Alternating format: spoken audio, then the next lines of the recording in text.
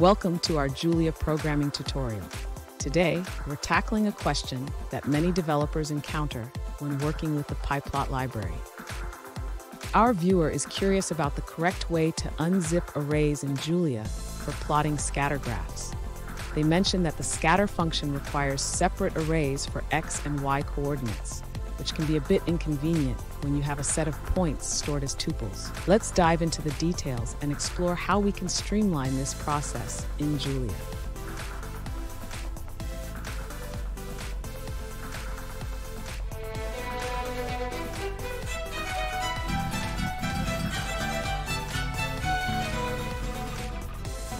Welcome back to another tech video. Today we're going to be going through your question, answering it, and hopefully finding that solution for you. Guys, remember to stay a little bit crazy like me and find that resolution. Now, let's continue on.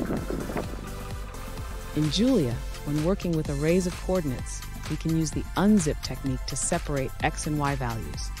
Let's start by defining our array of points.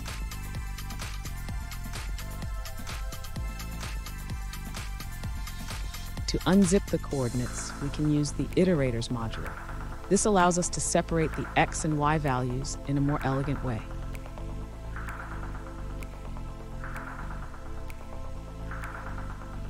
Now that we have our x and y values separated, we can easily pass them to the scatter function. Here's how you can do it in one line.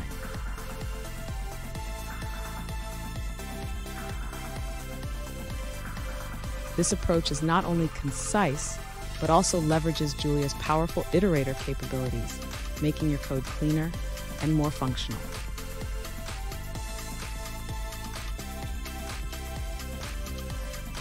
In summary, by using the iterators.unzip function, we can efficiently extract x and y coordinates from an array of tuples, making plotting straightforward.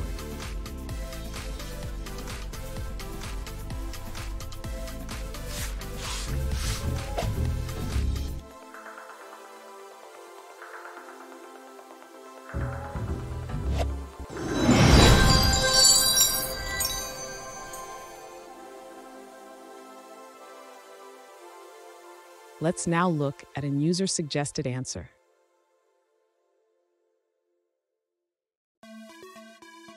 In Julia, there are three effective ways to zip and unzip arrays. The first approach uses the scatter function with zip, which is quite functional.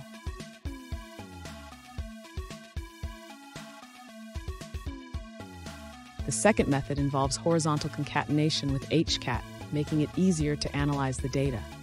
Note that the app @views macro is optional, but requires Julia version 0.6.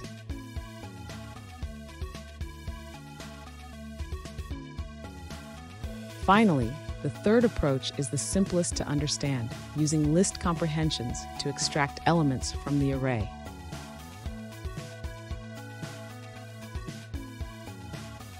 And that's it, guys. I hope the video helped find that resolution you were looking for. And, you know, if it did, please, I'd appreciate if you could hit subscribe.